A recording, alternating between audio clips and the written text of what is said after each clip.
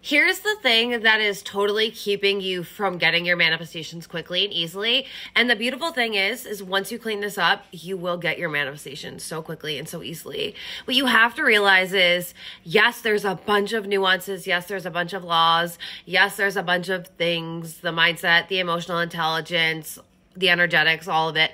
And we can also simplify the fuck out of manifestation.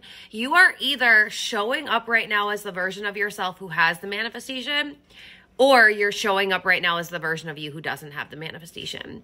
The version of you who has the manifestation already, they are calm, they are regulated, they are excited, they aren't waiting for it, they're out living their best life. They're not waiting for things to happen to them. They are knowing that it's already theirs so they're allowing the universe to delight them in in the ways it shows up. The version of you who doesn't have the manifestation is the one that's sitting around waiting, is the one that's looking to see when it's coming, is the one that's noticing that they don't have it, is the one that keeps feeling into not having it, is the one that keeps saying that it's not working for them, is the one that keeps worrying, doubting, fearing, judging other people for having the manifestation, feeling low, feeling frustrated, feeling depressed because it hasn't shown up yet.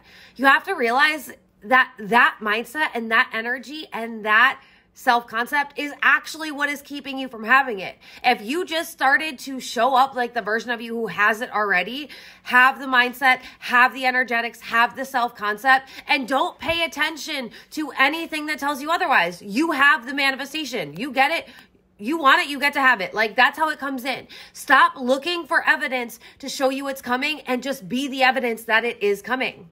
And because you guys know that that is the quote that channeled through to me, I don't even know when. And that is like my motto for manifestation. I decided to make a t shirt, which you can now grab at the link in my bio. It's not on TikTok shop yet because, like, I don't know, I'm struggling with that, but I'm manifesting it will be soon. But if you want to get a shirt to remind you of that, just click the link in my bio.